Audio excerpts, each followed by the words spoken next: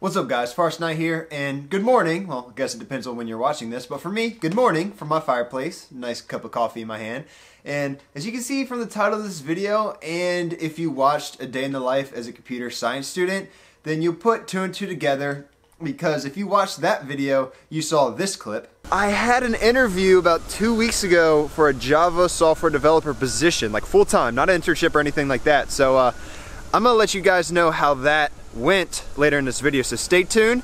And if you saw that clip, I sure hope you scroll down to the comment section of that video because I pinned a comment I made saying this. And it the main reason for that is because I, I kind of forgot to talk about it in that video. It wasn't until I was editing where I realized I didn't talk about the Java engineer interview like I kind of promised I would. So this is the video about that interview. And it's not going to be necessarily what you're looking for because it's it, it wasn't an interview that had to do with you know uh, this technical question, that technical question, all these interview coding interview questions that you know you break out the whiteboard for, and you've been studying online, and that's probably how you stumbled across this video. It wasn't like that. And I'm just here to talk about my experience because I feel like I owe it to you guys. One, because I promised it. Two, because, I mean, we're software developers here and we want to know about each other's experiences, you know, from what you don't see on camera or for what you don't really talk about or don't have the option to talk about with other software developers. So here we go. So before we get into what actually happened in the interview, let's talk about how I got the interview. So it's actually a really weird way. That's I didn't apply for the position or anything like that.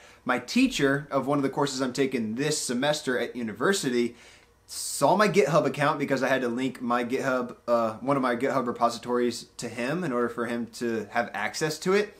And he saw my work he saw some of the work that I did, iOS development, and I guess he figured that I was, you know, I'm a senior in in college that teaches us C++ and Java. Plus, I have this eh, somewhat portfolio. I don't know how impressive it is. I guess to him and to a few others, it was impressive uh, of iOS development applications. And he saw that. He has a friend who works at uh, the company that I went to interview for, and he recommended me for the job because he knew from his friend that there was an opening there for a Java engineer position. And one thing led to another. I was contacted by his friend and we talked, emailed back and forth for like one or two emails. And then I got invited in uh, to interview. And once I got there, I met with the one guy who essentially, not essentially, he is a project manager along with two other Java engineers who I would be working alongside.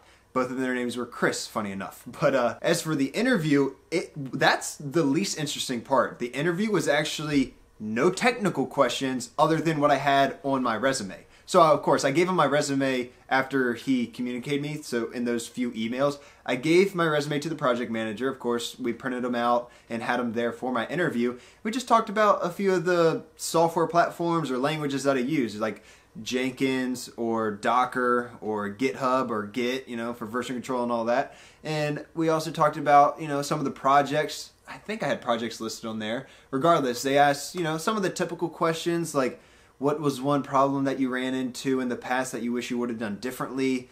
And the story I actually had was I used to work uh, and sell uh, vapor abrasive sandblasters, which is like a new technology sandblaster. I went up to Canada and the conditions were horrible. This is a vapor blaster, so if it's freezing conditions, you need to add a special product, which was antifreeze essentially. You had to add antifreeze in there, and you had to have the right media, which is like the sand that would be in there. And one thing led to another, and the machine didn't perform the way it always does because it was so cold. The blast media, the sand, wasn't what it should have been. It was really bad stuff, low quality stuff but I didn't have any say in it because they have all union stuff up there. So I was barely allowed to do any of the work except for talk about it, which wasn't very fun from my standpoint. I just kind of went on to talk about how I would have done that a lot differently by setting everything up, like making sure everything was in line exactly the way I needed it, regardless of what anyone else told me. And that's what I did for future visits to everywhere else I needed to demonstrate the equipment for uh, for that job. But that's neither here nor there for you guys, considering you're software developers, not necessarily uh, sandblasters, except for maybe like one of you, if that.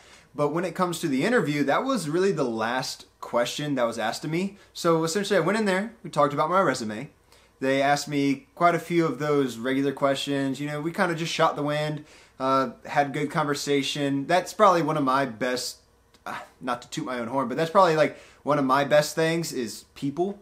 I like people. Well, I don't like all people, but you know what I mean. Like I am able to get along with people as long as they're willing to get along with me. But as for those two things, we just did uh, some of those other basic interview questions that you need to know, kind of like the one I just gave you an example of. Uh, just look up basic interview questions so you know how to answer those. Not necessarily, not necessarily, but don't make anything up. Make sure everything is completely honest. But you want to be prepared for those particular questions just so you're not thinking on the spot and you don't know how to answer that. And then it just kind of makes you look not as good. Uh, in all honesty, I wasn't even prepared for that question with this answer. I was thinking of how I would answer that question, but talking about past work experience like regular interviewers would, um, I talked about the Vapor Abrasive Sandblaster stuff, and it kind of uh, came to mind how I went up to Canada, and then that story came about to answer that question. I honestly didn't know how I was going to answer that question until the actual interview happened. I'm better on the spot than pre-planned or planned, I guess. But I think you need to make sure you have all the basic interview questions underway because that was that's going to be in any interview. And I didn't even have to go through any of those like technical coding interview questions. Although I was prepared, I'm familiar with Java. I studied up on some of those questions because it's not like you're going to know it all up in your head at all times. You need to have a refresher from time to time, but just make sure you cover all the basics, make sure you cover all the technicals, and for any interviews that you may be in, I think you will be good as long as you know what you're talking about. So that's kind of the uh, little talk about the interview that I owed you guys based on that previous video. But I hope you guys enjoyed this video. I hope you took something out of it. If you have any more questions, oh, no, I'm not done yet.